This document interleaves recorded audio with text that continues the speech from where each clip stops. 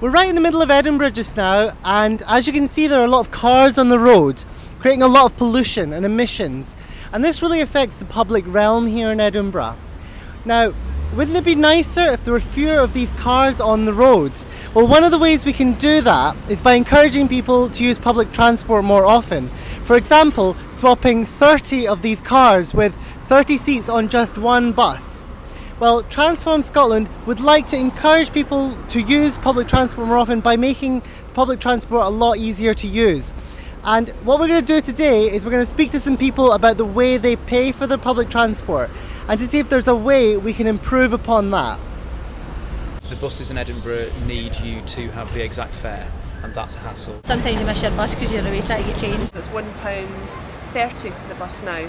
So if you don't have the right change, you end up putting £1.50 in. And the bus fare always seems to go up and up and up, and I've always got notes. There were no shops nearby for me to break a tenner, so I had to spend a tenner. And that happens to me quite a lot. So you end up paying more than what you're supposed to be paying, and that really annoys me. I'll sometimes go on holiday maybe to say the Western Isles or somewhere like that, and that's that's really difficult because to work out how much the buses are, I mean, you just have to ask them. Hope you've got the right change. Yeah, it's very frustrating.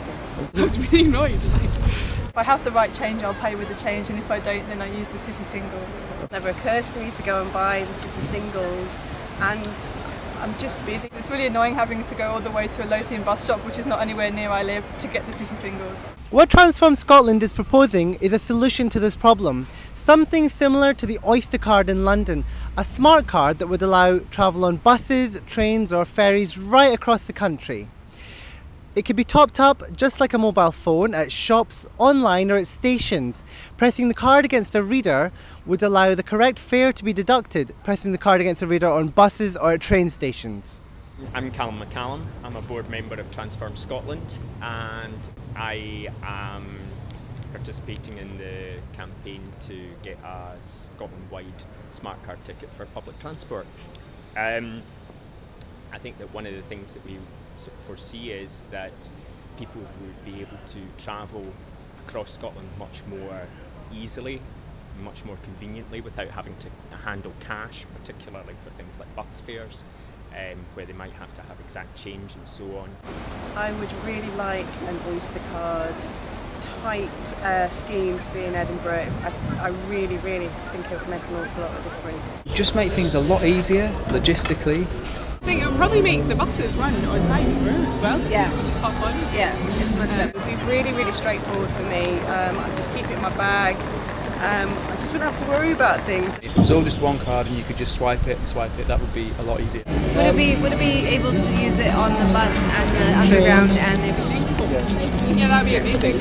Amazing. And from summer, I'll be working in Glasgow, so I'll be doing a lot of train journeys between Edinburgh and Glasgow and using the Glasgow subway train as well at the other end.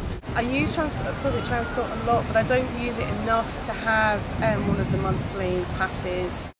The great news is that these readers have already been installed on all buses across Scotland and are being trialled on the rail route between Edinburgh and Glasgow, so the infrastructure is already there. But what we want to see is a card that we can use anywhere across Scotland, attracting more people to public transport and making public transport better value for money.